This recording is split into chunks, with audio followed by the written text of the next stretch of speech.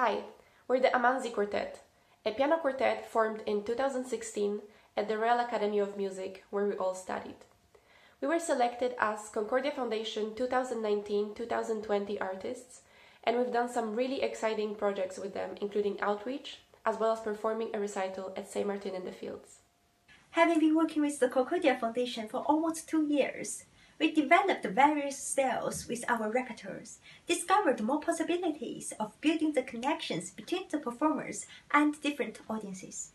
And also, the meaningful projects we did in the care home and the cancer center really make us feel the importance of our music and make us become more intimate as a group. COVID 19 has had a dramatic effect on the music industry.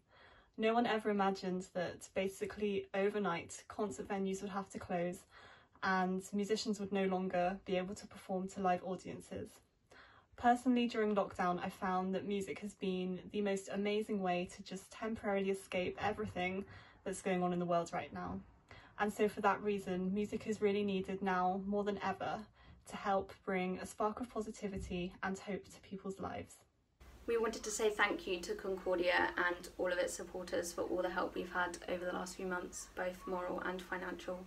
It's a very difficult time for everyone, um, but this coming together of support has really helped um, the morale keep us going until we can get back in the concert halls. Um, in the meantime, we're going to show you a clip from a recital we did in May 2019 in St Martin in the Fields and um, it's one of our favourite pieces so we hope you enjoy and once again thank you to Concordia, thank you for supporting their vital fund and we can't wait to see you all again soon.